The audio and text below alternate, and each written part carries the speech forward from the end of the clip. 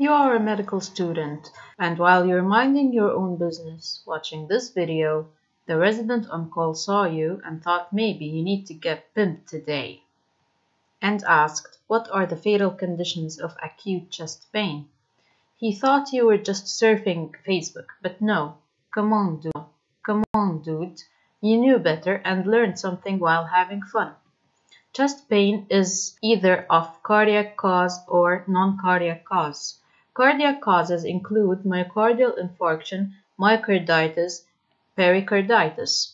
Which of these causes myocardial infarction most fatal one? The patient could die within hours. For non-cardiac causes, there are non-gastrointestinal causes and gastrointestinal causes.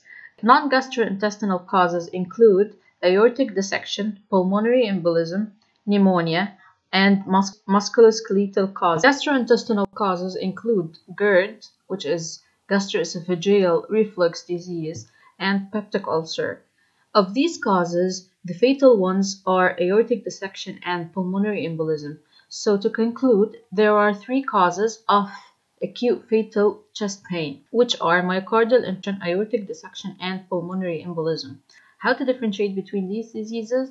Through history, medical examination, labs, and imaging. First, let's discuss myocardial infarction. Myocardial infarction is a condition in which the coronary artery supplying the heart gets blocked to the extent that no blood flow, blood flow can reach the cardiac muscle, leading to the infarction of these muscle, ischemia, and to the chest pain. We know this by history by asking about the duration of the pain which usually is minutes, does not exceed half an hour. We also ask about the site and character of the pain, which is substernal or midline, and the character of the pain is usually dull aching, tightness, heavy chest pressure, or squeezing.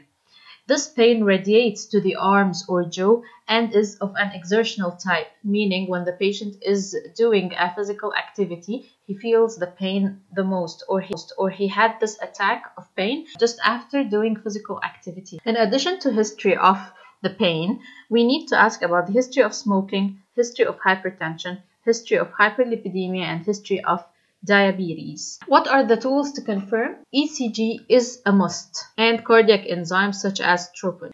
In this ECG, we can see that there is ST segment elevation, which is the hallmark of diagnosis of myocardial infarction in lead 2 and 3 and AVF. The next disease is aortic dissection. This is a condition where the wall of the aorta is tore apart that the blood starts to escape from the inside of the aorta into its wall and even if it ruptures to the outside. When we analyze the pain of aortic dissection, we should ask for duration, which is seconds to minutes, the site and character, which is substernal at site, and it's of a tearing character, and it radiates to the back, but it's not exertional, meaning it was a sudden pain that was not preceded by exercise or physical activity. In addition to this, we need to ask about the history of hypertension, we need to ask about the history of smoking, and if there was an aortic aneurysm diagnosed previously.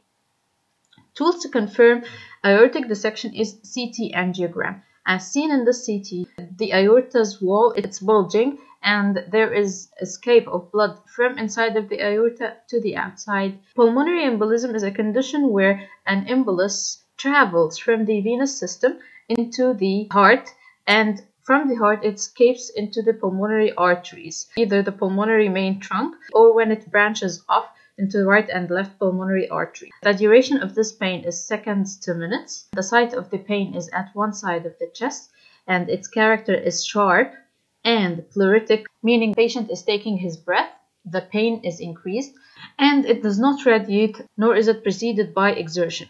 In addition to this, we need to ask about any history of recent hospitalization or surgery that led to immobilization, presence of pain in calf muscles, presence of malignancy, DVT. We can see in this picture that the right leg is swollen and red in color in comparison to the left leg and this is most probably because of a The tools to confirm pulmonary embolism are D-dimer and the gold standard is CT angiogram and as seen in this CT, there is a clot that, that blocks the, the branches of the pulmonary artery main trunk.